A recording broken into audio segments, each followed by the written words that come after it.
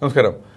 നമ്മൾ മണി ടോക്സ് എന്ന് പറഞ്ഞൊരു ആപ്പ് തുടങ്ങിയിട്ടുണ്ട്. അപ്പോൾ എല്ലാവർക്കും അത് ഡൗൺലോഡ് ചെയ്യുക അതിൽ കുറച്ച് ഫ്രീ കണ്ടന്റുകളുണ്ട് അതുപോലെ തന്നെ നിങ്ങൾക്ക് എന്തെങ്കിലും കൺസൾട്ടേഷൻ സർവീസുകൾ ആവശ്യമുണ്ടെങ്കിൽ അത് നിങ്ങൾക്ക് എൻറോൾ ചെയ്യാനായിട്ട് സാധിക്കും. അതുപോലെ തന്നെ നിങ്ങൾക്ക് ഒരു ബേസിക് ഇൻവെസ്റ്റ്മെന്റ് കോഴ്സും അതിലുണ്ട്. നിങ്ങൾക്ക് അത് താല്പര്യമുണ്ടെങ്കിൽ അതും നിങ്ങൾക്ക് ചെക്ക് ഔട്ട് ചെയ്യാവുന്നതാണ്. അപ്പോൾ ഇന്നത്തെ ടോപ്പിക്ക് നമ്മൾ സംസാരിക്കാനായിട്ട് ഉദ്ദേശിച്ചേക്കുന്നതെന്ന് വെച്ചാൽ ഇപ്പോൾ ലേറ്റായിട്ട് ഇരിക്കുന്ന റിട്ടയർമെന്റ് പ്ലാനിങ്ങിന് ഇരിക്കുന്ന കുറേ ആൾക്കാരുണ്ട്. അപ്പോൾ പല ആൾക്കാരും ഫാമിലിയുടെ ഉത്തരവാദിത്തങ്ങളും കാര്യങ്ങളൊക്കെ ആയിട്ട് ചെയ്തുകൊണ്ടിരിക്കുകയായിരിക്കും പക്ഷേ ഒരു ടൈമായപ്പോൾ അവർക്ക് മനസ്സിലായി അവരുടെ ഒരു റിട്ടയർമെന്റ് റെഡിയാണോ എന്ന് നോക്കുന്നത് പലരും പറയാറുണ്ട്. ഇപ്പോൾ എനിക്ക് അമ്പത് വയസ്സായി. ഇനി എനിക്ക് ഒരു റിട്ടയർമെന്റ് എടുക്കണം. അപ്പോൾ പലപ്പോഴും അവരുടെ ഒരു കാര്യം പറഞ്ഞു കഴിഞ്ഞാൽ അവർക്കറിയില്ല അവർ റിട്ടയർമെന്റിന് റെഡിയാണോ ഇല്ലേ എന്നുള്ളത്. അപ്പോൾ എസ്പെഷ്യലി ഒരു അമ്പത് വയസ്സ് അമ്പത്തഞ്ച് വയസ്സ് ആ ടൈമിൽ ഒരു കരിയർ ചേഞ്ച് നടത്തണം എന്നുണ്ടെങ്കിൽ അവർക്ക് എപ്പോഴും ഉണ്ടാവേണ്ട ഒരു ഒരു ഒരു കോൺഫിഡൻസ് ആണ്. ഏമായി ഞാൻ റിട്ടയർമെന്റ് റെഡി ആയോ ഇല്ലേ എന്നുള്ളത്. ആ ഒരു ചെക്ക് എങ്ങനെ ചെയ്യണം എന്നുള്ളതിനെ പറ്റിയാണ് ബേസിക് ആയിട്ട് ഇന്ന് പറയാൻ പോണത്. ഇൻ ഇൻ കേസ് ഇത് എല്ലാവരും കേട്ടിട്ട് നിങ്ങൾക്ക് സ്വന്തമായിട്ട് ചെയ്യാൻ പറ്റണമെങ്കിൽ ചെയ്യുക അല്ലാന്നുണ്ടെങ്കിൽ നിങ്ങൾക്ക് നമ്മുടെയൊക്കെ സപ്പോർട്ട് ആവശ്യമുണ്ടെങ്കിൽ നമ്മുടെ ഇമെയിൽ അയക്കുക നമ്മളെ ടീം അത് ഹെൽപ്പ് ചെയ്യാനായിട്ട് ശ്രമിക്കുന്നതാണ്. അപ്പോൾ ഇന്ന് ആദ്യത്തെ കാര്യം എന്ന് വെച്ചാൽ നമ്മൾ ഇത് എസ്പെഷ്യലി എല്ലാവർക്കും ഉപയോഗപ്പെടുന്നുണ്ടെങ്കിലും എസ്പെഷ്യലി ഇത് ഇത്തിരി പ്രായമൊക്കെ ആയി റിട്ടയർമെന്റിന് റെഡിയാണോ എന്നുള്ള സംശയമുള്ളവർക്ക് എങ്ങനെ ചെക്ക് ചെയ്യുക എന്നുള്ളതിനെ കുറിച്ചിട്ടുള്ള ബെസ്റ്റ് ആണ് ഇതിൽ പറയാനായിട്ട് ഉദ്ദേശിക്കുന്നത് എസ്പെഷ്യലി എൻ ആർ ഐസ് ആവാം അല്ലെങ്കിൽ ഒരു സീനിയർ പൊസിഷനിൽ വർക്ക് ചെയ്യുന്ന ആൾക്കാരാവാം അല്ലെങ്കിൽ നിങ്ങൾ ഒരു അമ്പത്തഞ്ചൊക്കെ വയസ്സായിട്ട് ഒരു കൺഫ്യൂഷനിലൊക്കെയാണ് എനിക്ക് റിട്ടയർമെന്റ് എടുക്കാൻ പറ്റുമോ ഇല്ലേ എന്നുള്ള. അവർക്ക് എല്ലാവർക്കും പറ്റിയിട്ടുള്ളൊരു വീഡിയോ ആണ്. ഇൻ കേസ് നിങ്ങളുടെ കൂട്ടത്തിൽ ആരെങ്കിലും ആ ഏജ് ഗ്രൂപ്പ് ഉണ്ടെങ്കിൽ അവർക്ക് ഈ വീഡിയോ ഷെയർ ചെയ്ത് കൊടുക്കണമെങ്കിൽ വളരെ ഉപകാരപ്രദമായിരിക്കും അവർക്കും. അപ്പോൾ ആദ്യത്തെ കാര്യം എന്ന് വെച്ചാൽ നമ്മൾ ആദ്യം ചെയ്യേണ്ട കാര്യം വെച്ചാൽ എല്ലാ ഇത് അക്കൗണ്ട്സും കാര്യങ്ങളും കൺസോൾഡേറ്റ് ചെയ്യുക എല്ലാ ഇൻവെസ്റ്റ്മെന്റും കാര്യങ്ങളും കൺസോൾട്ടേറ്റ് ചെയ്യുക എല്ലാത്തിനെയും നമ്മൾ നോക്കുക എനിക്ക് എത്ര അസറ്റ് ഉണ്ട്? എനിക്ക് എത്ര ഡിമാറ്റ് അക്കൗണ്ട് ഉണ്ട്? എത്ര ബാങ്ക് അക്കൗണ്ട് ഉണ്ട്? എത്ര മ്യൂച്വൽ ഫണ്ട് ഉണ്ട്? എത്ര പ്രോപ്പർട്ടീസ് ഉണ്ട്? ഇതിനെല്ലാത്തിനെയും കൺസോൾട്ടേറ്റ് ചെയ്യുന്ന ഒരു ഐഡിയ ഉണ്ടാക്കുക. ഇത് എനിക്ക് എത്ര ഏതൊക്കെ അസറ്റാണെന്നുള്ളത് അതിനെല്ലാത്തിനെയും സെഗ്രിഗേറ്റ് ചെയ്യുക. ഇത് പെട്ടെന്ന് വിൽക്കാൻ പറ്റുന്ന ഏതാണ്? പെട്ടെന്ന് ലിക്വിഡേറ്റ് ചെയ്യാൻ പറ്റുന്ന ഏതാണ്? പെട്ടെന്ന് അതിൽ നിന്ന് ഇൻകം ജനറേറ്റ് ചെയ്യാൻ പറ്റുന്ന ഏതാണ്? ഇൻകം കിട്ടാത്ത ഏതാണ്? ലോക്കിനുള്ളത് ഏതാണ്? ഇതെല്ലാവരും കൃത്യമായിട്ട് മനസ്സിലാക്കി കൺസോൾട്ടേറ്റ് ചെയ്ത് വയ്ക്കുക എന്നുള്ളതാണ് ആദ്യത്തെ കാര്യം. ഇനി രണ്ടാമത്തെ കാര്യം എന്ന് വെച്ചാൽ നമ്മുടെ റെസ്പോൺസിബിലിറ്റീസ് എന്താണെന്ന്. റെസ്പോൺസിബിലിറ്റി റെസ്പോൺസിബിലിറ്റീസ് എന്ന് പറഞ്ഞാൽ കുട്ടികളെ കല്യാണം കഴിപ്പിച്ചു വിടാനുണ്ട് കുട്ടികളുടെ എഡ്യൂക്കേഷൻ ഉണ്ട്. ഇനി വല്ല വേറെ എന്തെങ്കിലും കാര്യങ്ങൾ ചെയ്യാനുണ്ടോ എന്നുള്ളതിനെ പറ്റിയിട്ടുള്ള റെസ്പോൺസിബിലിറ്റി ചെയ്യുക. ഇതുപോലെ തന്നെ റെസ്പോൺസിബിലിറ്റി പെട്ടിട്ടുള്ള ഇമ്പോർട്ടന്റ് ആയിട്ട് കാര്യം നിങ്ങൾക്ക് കടം വല്ലതുണ്ടോ? കടം വല്ലതുണ്ടെങ്കിൽ ഡെറ്റ് ഫ്രീ ആവുക എന്നുള്ളതാണ് ഫസ്റ്റ് കാര്യം. കാരണം റിട്ടയർമെന്റ് എടുക്കുന്ന സമയത്ത് ഡെറ്റും വെച്ചിട്ട് റിട്ടയർമെന്റ് എടുക്കണമെങ്കിൽ വലിയ ബുദ്ധിമുട്ടായിരിക്കും. അപ്പോൾ ഈ പറയുന്ന മൂന്ന് കാര്യങ്ങൾ വളരെ ഇമ്പോർട്ടന്റ് ആയിട്ടുള്ള ഒരു കാര്യമാണ്. ഇനി നാല നാലാമത്തെ കാര്യം എന്ന് വെച്ചാൽ നമ്മൾ ഈ പോസ്റ്റ് റിട്ടയർമെന്റ് ടൈമിൽ എന്തെങ്കിലും ഇൻകം കിട്ടാനായിട്ട് ചാൻസ് ഉണ്ടോ?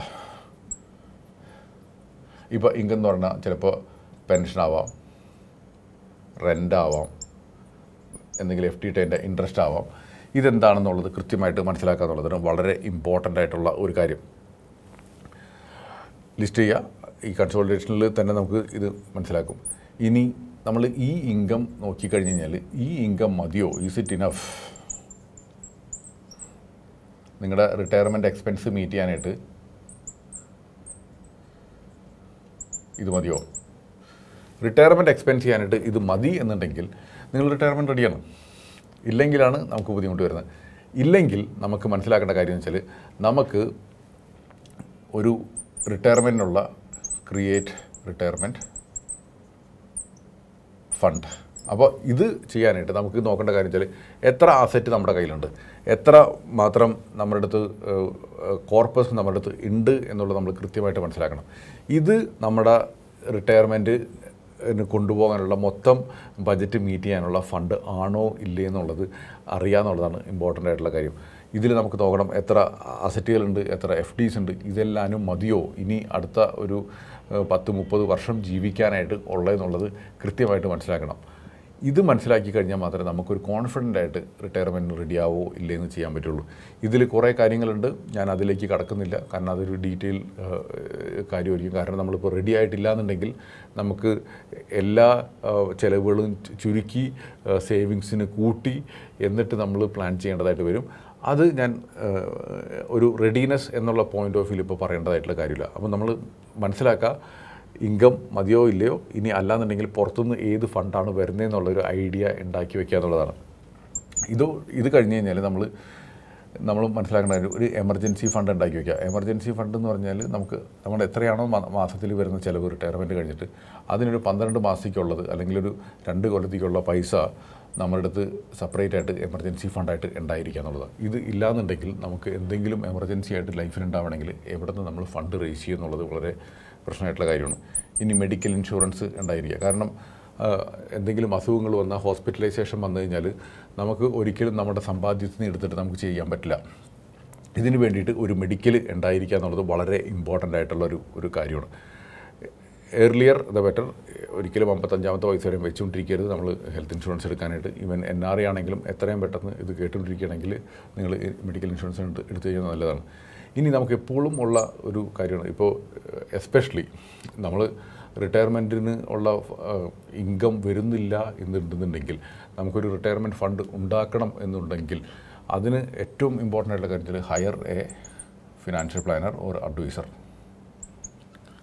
ഇത് നിർബന്ധമായിട്ട് ചെയ്യുക കാരണം ഇത് നിങ്ങൾക്ക് പറ്റാത്തതിന്റെ പേരിലാണ് ഈ ഒരു അവസ്ഥയിലേക്ക് എത്തിയിരിക്കുന്നത് ഇനി ഈ ടൈമിൽ നമുക്ക് സ്വന്തം പഠിച്ച് റിസ്ക് എടുക്കാനൊന്നും നിൽക്കേണ്ട കാര്യമില്ല. ഏതെങ്കിലും എക്സ്പേർട്ടിന്റെ ഹയർ ചെയ്യുക എന്നിട്ട് അവരുടെ സഹായത്തോടെ നിങ്ങൾ പ്ലാനിങ് മുന്നോട്ട് പോകാനായിട്ട് ചെയ്യുക എന്നുള്ളതാണ് ഇമ്പോർട്ടന്റ് ആയിട്ടുള്ള കാര്യം. ഇനി നമുക്ക് ഇതിൽ ഇനി റിട്ടയർമെന്റ് എടുക്കാനാണ് തീരുമാനിച്ചത്. ഇവൻ നിങ്ങൾക്ക് പെൻഷൻ കാര്യങ്ങളൊക്കെ ഉണ്ട് എന്നുണ്ടെങ്കിലും പത്താമത്തെ ഇമ്പോർട്ടന്റ് ആയിട്ടുള്ള ഒരു കാര്യം എന്ന് വെച്ചാൽ നിങ്ങൾക്ക് എന്തെങ്കിലും ഒരു സൈഡ് ജോബ് ചെയ്യാനായിട്ട് തയ്യാറാവാം.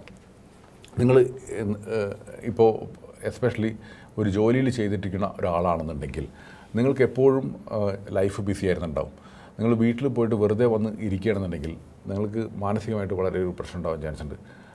ഇവൻ നമ്മളെപ്പോഴും ആ പണ്ടത്തെ ഒരു കോർപ്പസിനെ മാത്രം പണ്ട് ഉണ്ടാക്കി വെച്ചിട്ടുള്ള പൈസനെ മാത്രം ഡിപ്പെൻഡ് ചെയ്ത് ജീവിക്കുകയാണെങ്കിൽ അതിലും ഒരു ബുദ്ധിമുട്ട് ഉണ്ടാവാനായിട്ടുള്ള ചാൻസ് ഉണ്ട്. അതിന് എന്തെങ്കിലും ചെറിയ രീതിയിൽ ഇൻകം വരുന്ന രീതിയിൽ ചെറിയ ജോലി ചെയ്യാൻ പറ്റുമോ? നിങ്ങളധികം ടെൻഷൻ എടുക്കാതെ ഒരു ആ ജോലി എൻജോയ് ചെയ്ത് ചെയ്യാവുന്ന രീതിയിലുള്ള എന്തെങ്കിലും ഒരു സൈഡ് ജോബോ സൈഡ് ബിസിനസ്സോ ഏറ്റെടുത്ത് ചെയ്യാം. ബിസിനസ് എന്ന് ഞാൻ പറയില്ല. ക്യാപിറ്റൽ ഇടാതെ നിങ്ങൾക്ക് ഒരു ഇൻകം വരുന്ന രീതിയിൽ ഒരു കാര്യം ചെയ്യാൻ പറ്റണമെങ്കിൽ അത് എന്തുകൊണ്ടും നല്ലതാണ്. ഒരു സൈഡ് ജോബ് എന്ന് വേണമെങ്കിൽ പറയാം പാർട്ട് ടൈം ജോബ് എന്ന് വേണമെങ്കിൽ പറയാം. നിങ്ങൾക്ക് അധികം ടെൻഷൻ ഇല്ലാതെ എൻജോയ്മെന്റ് നടത്തിക്കൊണ്ട് പോകാവുന്ന ഒരു ജോലി എടുക്കുകയാണെന്നുണ്ടെങ്കിൽ എന്തുകൊണ്ടും നല്ലതായിരിക്കും. ഈ പത്ത് കാര്യങ്ങൾ എസ്പെഷ്യലി ഒരു ഒരു ലേറ്റായിട്ട് റിട്ടയർമെന്റ് തിങ്ക് ചെയ്യുന്ന ആൾക്കാർ നിർബന്ധമായിട്ടും ചെക്ക് ചെയ്യേണ്ട കാര്യങ്ങളാണ്. ഇതിൽ ഒരു അവനവന്റെ ഒരു ഡിസ്കഷൻ നടത്തി കഴിഞ്ഞാൽ തന്നെ നിങ്ങൾക്കൊരു ഐഡിയ കിട്ടും ഒരു കോൺഫിഡൻസ് കിട്ടും ഞാൻ റിട്ടയർമെന്റ് റെഡിയായോ ഇല്ലേ എന്നുള്ളത്.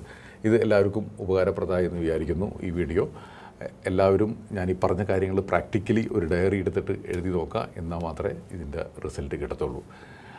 അപ്പോൾ എല്ലാവർക്കും നല്ലൊരു റിട്ടയർമെന്റ് നേരുന്നു. നന്നായിട്ട് സമ്പാദിക്കാനുള്ള ഒരു ഇൻട്രസ്റ്റ് വരട്ടെ എന്ന് നേരുന്നു.